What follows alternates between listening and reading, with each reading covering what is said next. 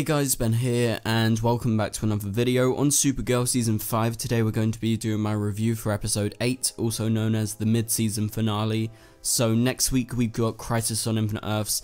This episode right at the end sets up a lot to do with Crisis, so obviously there's going to be a lot of Crisis talk in this video.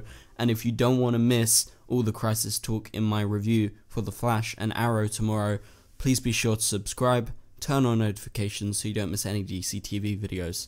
So yeah, this episode was pretty damn good. I really, really got into the episode towards the end of the episode. I thought the start was like pretty good. It was like a just you know a kind of average Supergirl episode that I was enjoying. I didn't really have any big problems this episode, but it got really good towards the end, and I think that was definitely because you know they were trying to build towards a finale type event where you have the closure of a lot of these stories, and I think they closed it off very well. So yeah, let's go ahead and get into this. I have a lot of notes for this episode. There was a lot of stuff going on. Obviously, like I said, they're trying to fix it and sort of end all the stories, you know, for the most part for this season, you know, the first part of the season, I mean. Okay, so how we start the episode, we got Malefic, and he shows up, he reveals that Lena, you know, has captured him and he didn't go to the Phantom Zone and we have this whole story with Malefic this episode that I thought was really effective and I'll talk about the way he ends the episode very soon. Then we got the Leviathan stuff at the start of the episode, Rama Khan with a crater and you know they want to set off some sort of super volcano. Lena's doing her stuff with Hope slash Eve at the start and you know they're trying to get ready to launch their myriad device. Supergirl goes to her headquarters. They set like a Trojan horse so they can't fire it off, but in the end it does actually fire off, and we'll get to that in a sec. But so she has this talk, and it's Lena and Supergirl. She's as a hologram, and that was you know the Trojan horse thing. But Kara begins to cry, and this was the only bit where I was like, ah, I don't know. But then they sort of fixed the ideology later in the episode with Alex being so right about how she was trying to protect Lena because Kara doesn't see it right now as in she didn't tell Lena because she wasn't trying to protect her. Kara during those earlier scenes kept on thinking along the lines of Lena that you know she betrayed her which she really didn't and I think it was very gratifying to see that Alex actually correcting Kara saying that you know you didn't tell Lena you were Supergirl because you had good reasons. You didn't want her to be exposed because you're a good friend. So I really appreciated that because with the hologram stuff and, you know, the past few episodes, Kara has been really blaming it on herself, as in she is following the ideas of what Lena is saying, as in she had betrayed Lena by not telling her, which is not true. So, you know, she talks about, you're a deceitful person, you mean nothing to me, and obviously she's there as a hologram so she can hear but I'm not sure if she can actually see Lena because she would have seen Hope slash Eve in that scene and I don't know if she knew that she was there but she gets emotional and I think Kara is very much so caught up in Lena's ideology in this episode but then I really like how Alex sort of set her straight being like no you're not the villain, Kara. You've done this for a reason, a good reason. Also, we get a mention of Rain in this episode, you know, in the talk with Alex and Kara. Really appreciated that. Also, we know that Sam is actually returning. I think I'll make that part of my new video that I'm going to do sometime later tonight. But that was just a really nice reference because we know she's probably going to be back for the 100th episode. So basically, with the Alex and Kara talk, Alex talks about how she's treating Lena as a villain and it really creates this other side where, you know, we sort of believe in that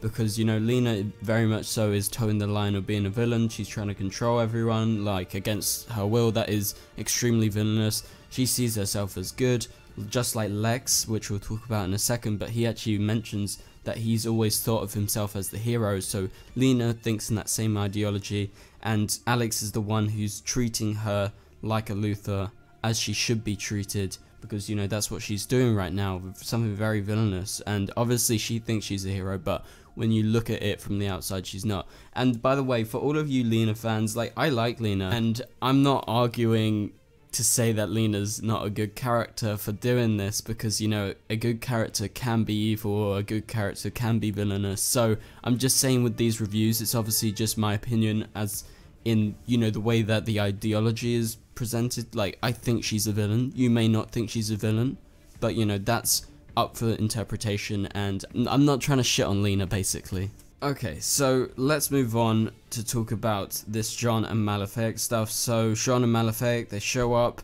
Everyone's shit scared at the DEO because he's shown up, but then it's turned out that John has changed him, as we saw last episode. So Kara comes to try and get John's help to stop Alex from trying to kill Lena and blowing up the place with this device that they called some funny name. I forgot what it was. Oh yeah, it was Claymore like you know like a claymore mine like it's gonna blow up. I thought that was kind of funny. And then she realizes that they could use malefic. And you know i think at this point kara was thinking oh we can trust malefic. And so he's actually the one who's going to try and stop lena from making the same mistakes that he made because you know he's changed now. And it turns out he has actually changed and so J'onn tries to talk Alex into believing that Malefic is good now. And so that takes a lot of pressure for Alex to actually believe that because, you know, Lena's betrayed, he's supposedly good now, she doesn't know who to trust basically, and Alex eventually trusts J'onn, like right in the last minute, that, you know, we should stop the inhibitors and, you know, let him fully use his powers, that talking about Malefic in this instance. So whilst this is going on, we have the stuff with Acrata and Rama Khan. Rama Khan gets screwed over in this episode. He's trying to create this sort of super volcano explosion, but he is stopped by J'onn, Supergirl, and also Acrata. Acrata stabs him towards the end of the episode. I don't know if he's going to be dead or anything like that, but he is stopped and a new Leviathan lady takes over. I don't remember her name. I don't think they've mentioned her name yet, but you know, there is someone who is in charge of the organization who is appointing this new person and obviously this new person is going to be around in the back half of the season. Then eventually we'll get the reveal of the other members of Leviathan very very soon. So yeah, we have Supergirl and J'onn facing off against Rama Khan. Acrata's stuck underground as she tries to you know, help Supergirl, well, at least get Supergirl's assistance. You know, she doesn't have such a big thing against Supergirl, and I think they realized that the Shadow, as they call her, or Acrata, aka Andrea, is not a bad person. You know, she gets this really nice moment towards the end of the episode talking to a hologram, like, you know, using the obsidian thing where she can, you know, talk to herself about, like, seeing her husband, basically, and, you know, she's finally escaped from Leviathan, essentially. And so we have all of that going on, and it's causing shockwaves around National City. And then we got Hope, and she somehow guesses this code to the base, and I thought that was kind of funny. That was a little bit of like just trickery in the writing. They were like, oh yeah, let's think of this. Oh yeah, we got 10 seconds to do this. We guess the code, which is kind of impossible, I'm just saying. But whatever, that's just like a little thing in the writing where they were like, oh, we need to do this, or else, yeah, let's come up with this. Who cares? So then we get this funny moment where I laughed because obviously I think of Lena as sort of like not a full villain, but you know, she's definitely in that villainous area. But she says sometimes the good guys don't win, and I out loud laughed because you know that's not true. And you know, she thinks of herself as a hero, but everyone else is actually a hero instead.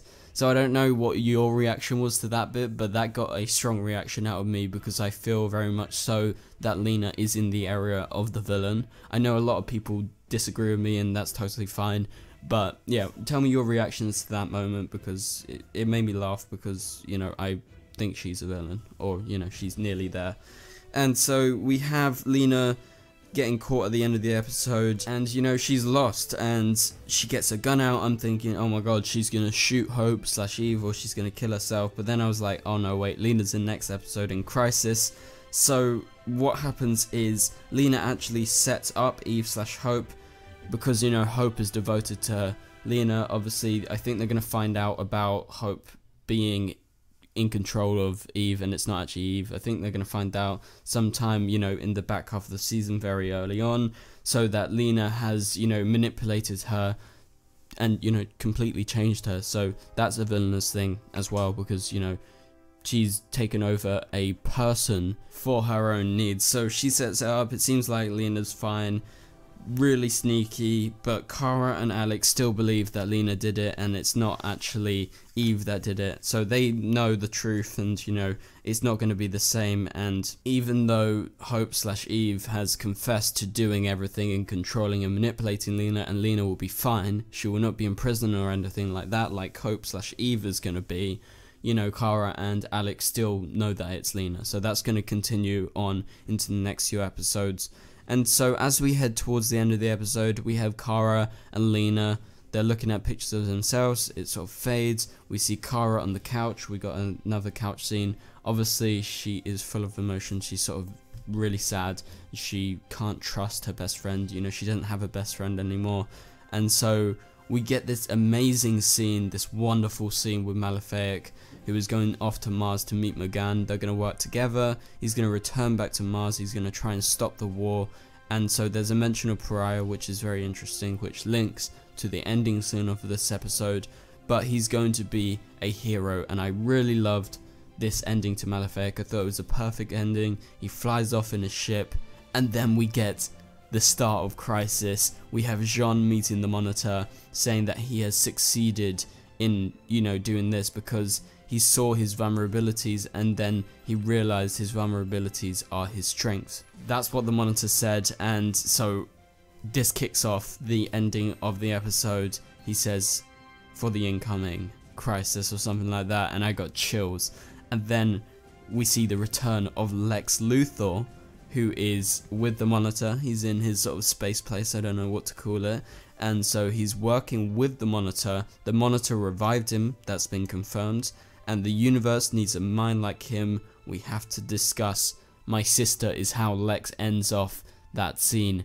What is he going to do to his sister? Maybe he's going to try and get her to help, or to spare her, or to kill her because, you know, she actually killed him. So I don't know what's going on there.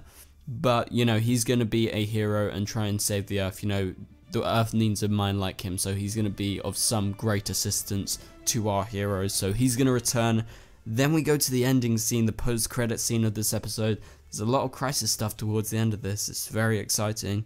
So we have this Crisis teaser. We go to Central City on Earth 1, where we've been continuing from the Flash episodes recently with Nash Wells, the new version of Wells, attempting to get into this place. He, we saw that he broke through.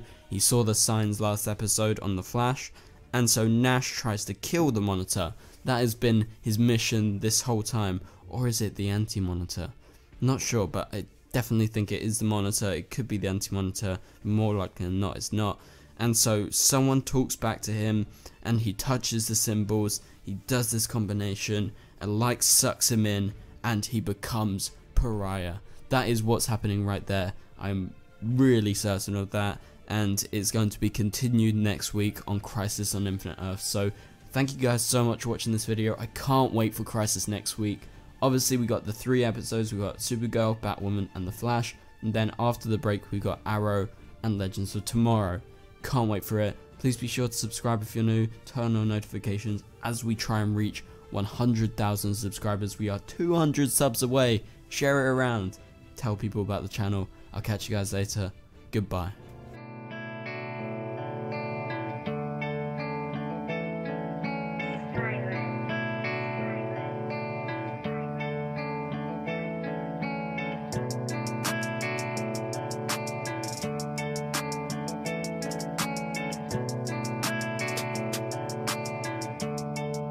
I see red.